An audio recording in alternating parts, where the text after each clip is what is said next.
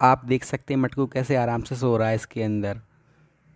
ये मैंने पेटी बिछा दी है और ऊपर से जाल रख दिया था मैंने तो ये देख सकते हैं आप कितने आराम से सो रहा है इसके अंदर।